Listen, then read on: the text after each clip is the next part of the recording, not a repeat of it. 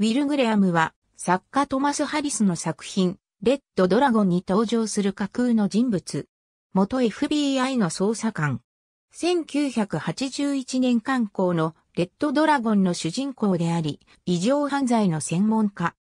特にプロファイリングについては FBI 内部でもよく知られており、FBI 特別捜査官、ジャック・クルフォードのチームに所属する。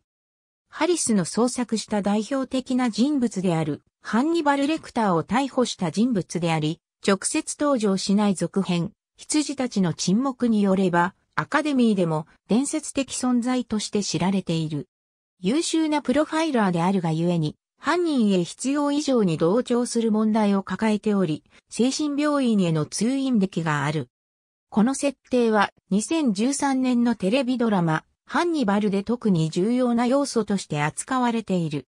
事件そのものについては、一切の証拠を残さなかったレクターが捕まったきっかけも、彼の遊びを無意識に読み取って正体に気づいてしまったためである。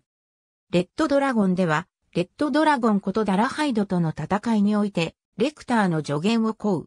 最終的に、レクターの助言によって、ダラハイドに迫る一方、レクターは密かに、ダラハイドと文通して、グレアムを襲うようにそそのかしていた。最終的に事件は解決する者のの自宅で、ダラハイドに襲われたグレアムは重傷を負い、羊たちの沈黙によればこのことが元で一線から退き、飲んだくれた生活を送ることになったという。ありがとうございます。